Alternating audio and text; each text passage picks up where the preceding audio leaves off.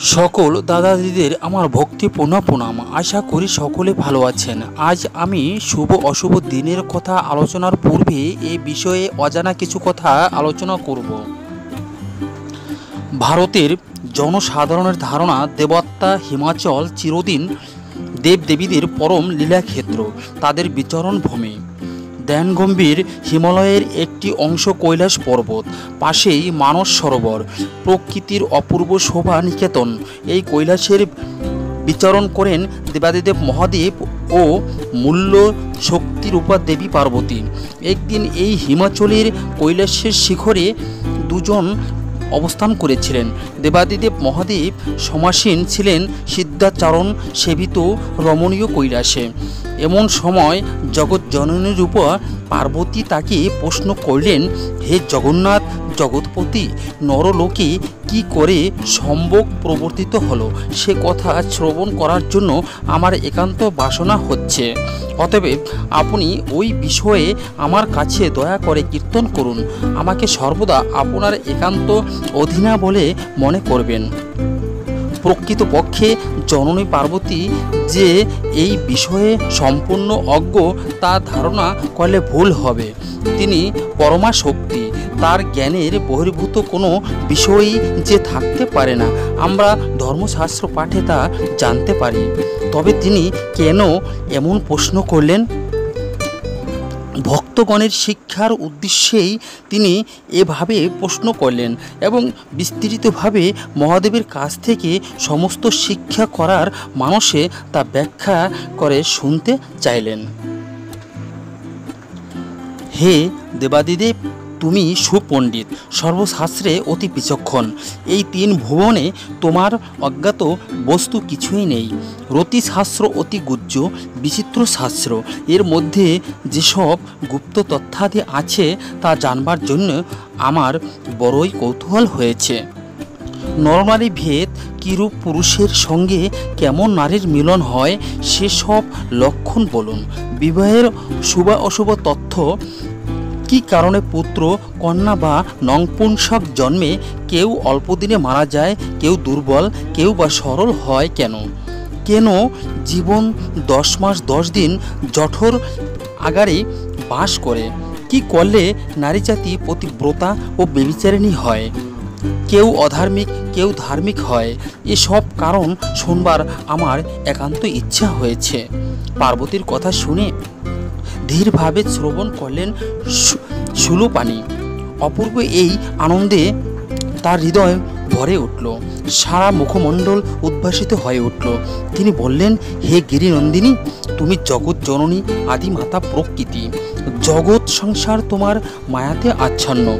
কিন্তু দেবী তুমিই সেই মহামায়ার বিমোহিত হয়ে যে যাবতীয় পূর্বকথা সম্পূর্ণ বিচ্ছৃত হচ্ছ, এটি অত্যন্ত আশ্চর্যের বিষয়, সন্দেহ নেই। মহাদেব তারপর পার্বতীকে সমস্ত প্রাচীন কথা স্মরণ করতে বললেন। সারা বিশ্ব জগতের মাতা পরমা প্রকৃতি পার্বতী, তিনিই অখণ্ড অনন্ত সংসারের মূল শক্তি। সমগ্র বিশ্ব জগৎ তার থেকেই উদ্ভূত। শক্তির প্রকাশই হলো এই লক্ষ কোটি ভুবন। তাই এই বিষয়ে সমস্ত কথাই পার্বতী হত ইচ্ছা করলে ধীরে ধীরে স্মরণ করতে পারেন। মহাদেব তাই বললেন, হে মহাদেবী, কৈলাস শিখরে তোমার সঙ্গে বিহারকালে যে সব ঘটনা সংঘটিত হয়েছিল, সেই মনোরম পূর্বকথা স্মরণ করো। সারা পৃথিবী যখন আদিকালে পোলায় উপজলে নিমগ্ন হল শিখ সেই কালে আমি মহাদেব তোমারই সঙ্গে এই রমণীয় কৈলাস শিখরে বিরাজিত হলাম। আজ পঁয়তাল্লিশ নম্বর ভিডিওতে এখানেই বিশ্রাম নিলাম এই আলোচনায়। এরপর আমরা পরবর্তী সঠিক আলোচনায় এবং মূল আলোচনায় চলে যাব। পরবর্তীতে আবার এর পরের থেকে আলোচনা করা হবে। তাই সবাই ধৈর্য সহকারে এই আলোচনাগুলো শুনে নেবেন। এই কথাগুলো পরম গুজ্জ কথা। সব সময় এই কথাগুলো পাওয়া যায় না। তাই আপনাদের সকলের কাছে বিনীতভাবে বলব যে, এই আলোচনাগুলো অবশ্যই মন দিয়ে শ্রবণ করে নেবেন। চলুন এবার মূল আলোচনায় চলে যাচ্ছি। সকলকে বিশেষভাবে বলব যে, আপনি ঋতুমতির তারিখটি দিন এবং সারা রাত মিলিয়ে একদিন হিসেবে ধরে নেবেন এবং শুভ দিনটি তো দিন এবং সারা রাত মিলিয়ে একদিন হিসেবে ধরে নেবেন।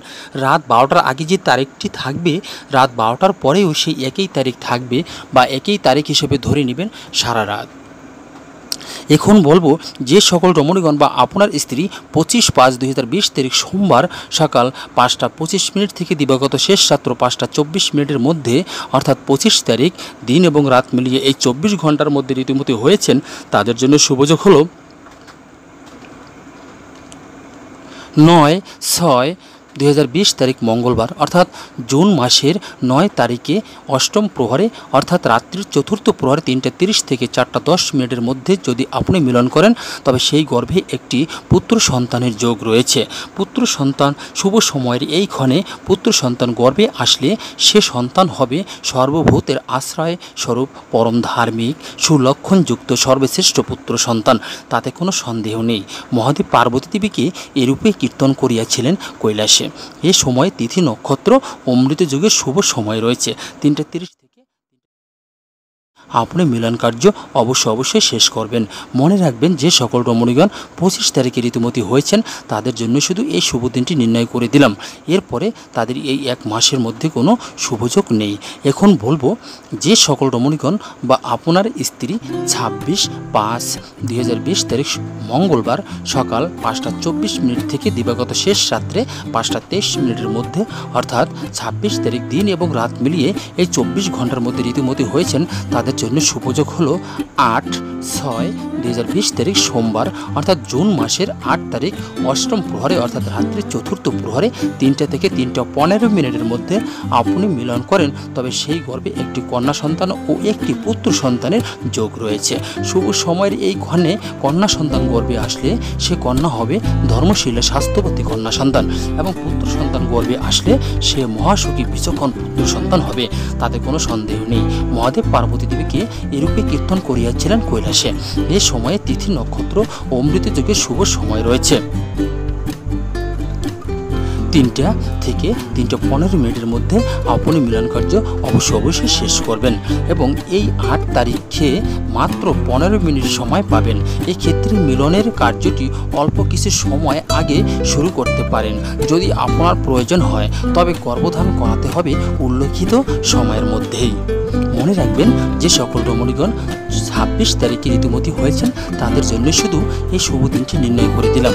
এরপরে তাদের এই এক মাসের মধ্যে কোনো শুভযোগ নেই।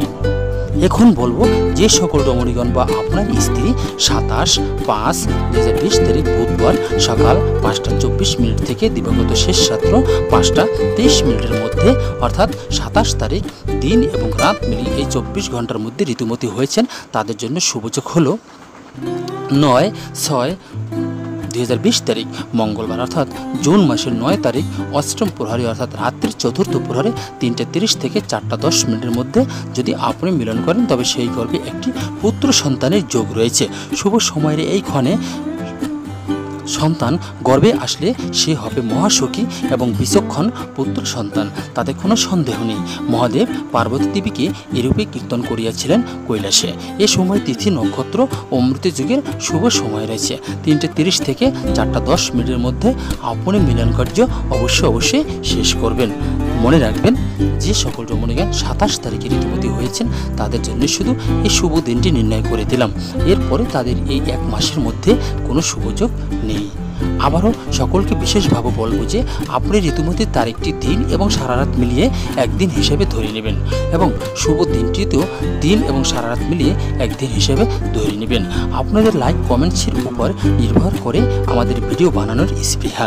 তখন আমাদের অধিক আগ্রহ প্রকাশ পায় ভিডিও বানাতে। তাই সকলকে একটি লাইক, কমেন্টস করে আপনাদের সঠিক তারিখটি অবশ্যই জানিয়ে রাখবেন।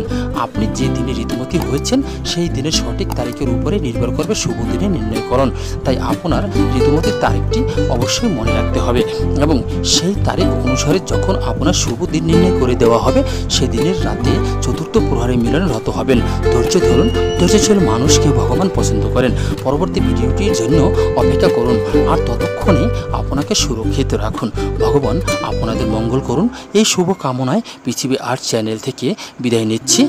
আজ।